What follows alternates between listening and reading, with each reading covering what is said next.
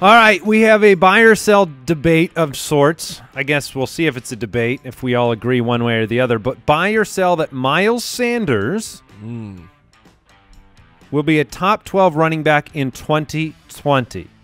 So, Miles Sanders took over the starting role in week 11, finished the season in half point per reception leagues as RB15.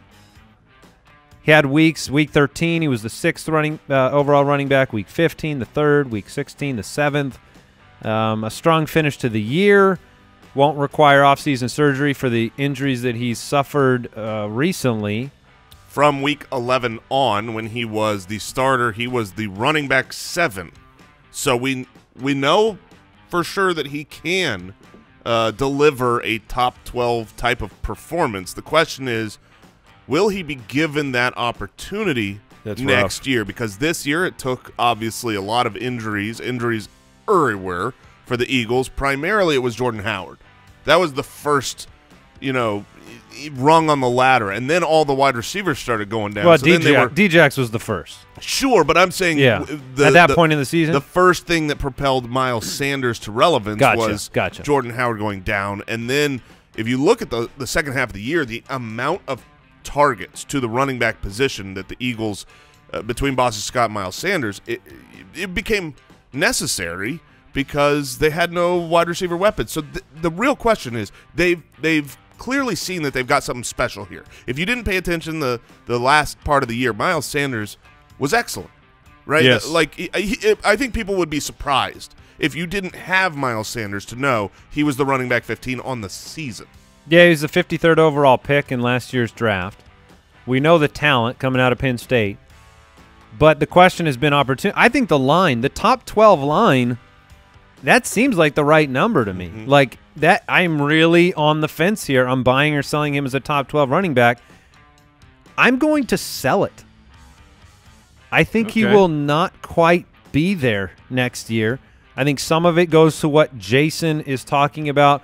Opportunity um, presented itself at the end of the year to propel him so high. Um, I think he's going to be right on that razor's edge. But here, here's what I know.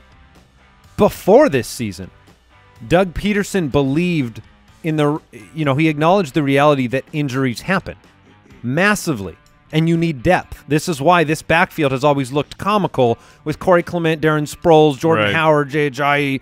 Uh, you know, they draft Miles Sanders after they sign Jordan Howard. I think Jordan, ha- I think Miles Sanders is an incredible talent, but I believe that Doug Pederson fundamentally believes in great depth.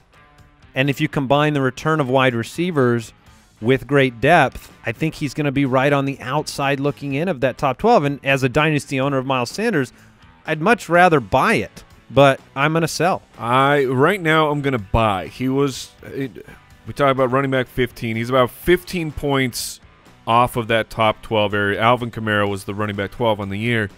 But what's interesting is, I mean, how little he actually had the workload at the end of the year, where he was really cranking up the numbers. 50 receptions. That's where it's going to come down That's to. that's awesome. Yeah. as uh, when he was not really the full time guy until the last quarter of the season, and then on top of that, only three rushing touchdowns. So running back fifteen, he had three receiving touch, touchdowns as well, but only three rushing touchdowns. Which, if he is the primary guy, that easily goes up. I mean, Jordan Howard was a was a rushing touchdown machine to start out the year. So I will buy. I will buy that he could be a, a top twelve guy. I think there it will still be a committee, but I it wouldn't surprise me if that committee heading into the year is it's like it's Sanders and Boston Scott.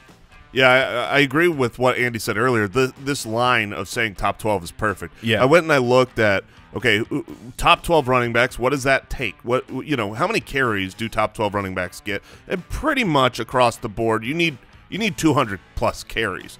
Wi- Unless you are uh, Austin Ekeler with 132 Yeah. carries, Get it done. That did go into my head, though, the Austin Ekeler line as the template for top 12 for Miles Sanders, the passing game work. Yeah, I just don't. I mean, Austin Ekeler was 108 targets. That you know, That's that- absurd. That's not happening for Miles Sanders. I'm going to sell here because what I care about is the start of the season next year. Now, for dynasty purposes, long term, I think he's a very solid back. He's young, he's talented. I, I like the Eagles' offense. I like Carson Wentz and a healthy crew around him to be a top half offense. So I'm I'm pro Miles Sanders, but I do believe that they will have another back there. I think Boston Scott played his way into a relevant role, a la that Darren Sproles role, and I think it'll be too much of a committee for me to project him as a top 12 back. But the touchdown argument that Mike brings up is a really solid one because Jordan Howard was a, a touchdown machine. Well, and that and that brings to mind like who they sign matters. Like they're Yes. they're going to. It's not going to be like I don't. I I'm sure you weren't inferring just those two. Like there's going to be more pieces of the backfield. Miles Sanders in this extended improved workload over the back half of the year got hurt twice, like two different times. So it just validates this thing that Doug Pederson's reiterated before that it's a you know it's a grueling position. You know his quote. I believe the National Football League season is a grueling, grinding season, particularly on running backs. And if you don't have a couple of guys you can hang your hat on, it's hard to get through a season. If you bring in a guy that's going to take the goal line, that says a lot. You know that changes the projection to me. Yeah, if they, if they were to say re-sign Jordan Howard, now that he had his injury, that his free agent market might not be that hot, maybe they're able to re-sign him. We've seen him play that touchdown role in this offense. I would expect that to continue. Yeah, it'll be it'll be very interesting going into next year to see what they do at the running back position. They obviously drafted him with high draft stock, so that means a lot. Hey, guess what? Click that subscribe button, and I might send you something in the mail. Maybe. You should do it.